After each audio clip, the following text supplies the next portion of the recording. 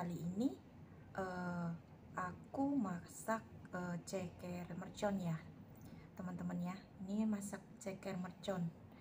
Uh, sebelum makan nggak lupa untuk berdoa dan saya juga udah cuci tangan. Sekarang kita mulai berdoa dulu ya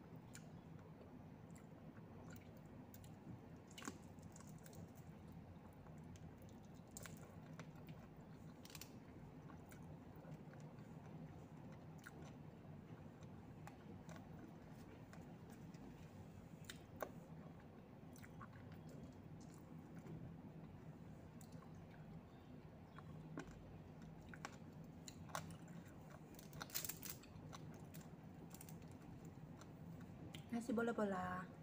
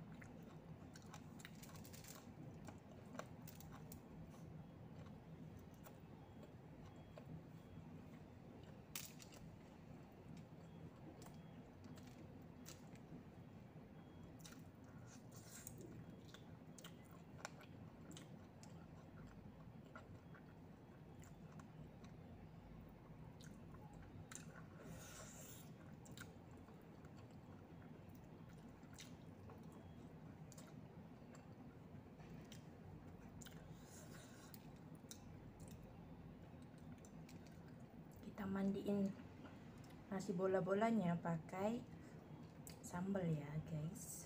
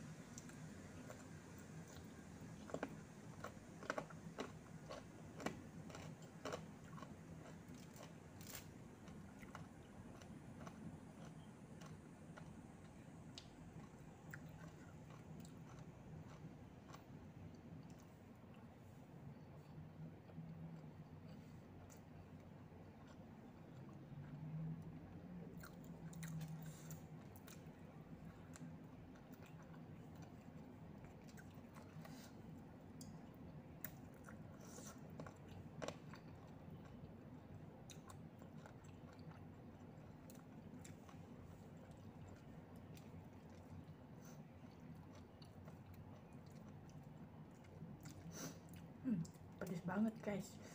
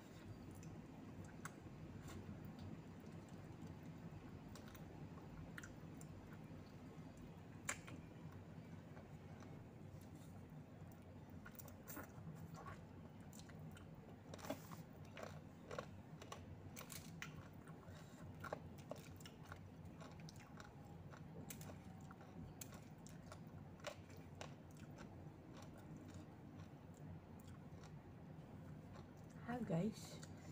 Ini cabenya enak banget. Pedes manyus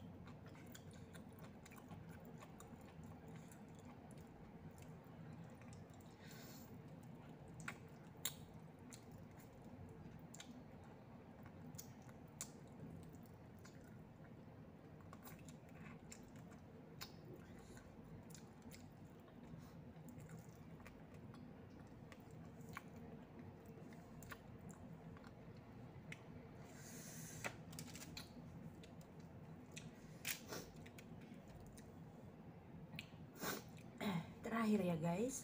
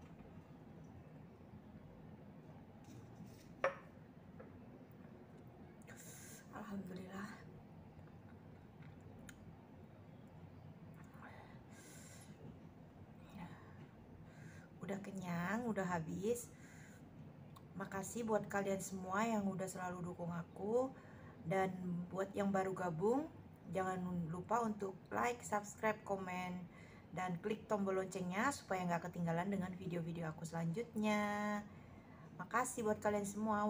Wassalamualaikum warahmatullahi wabarakatuh. Jumpa lagi di video aku selanjutnya.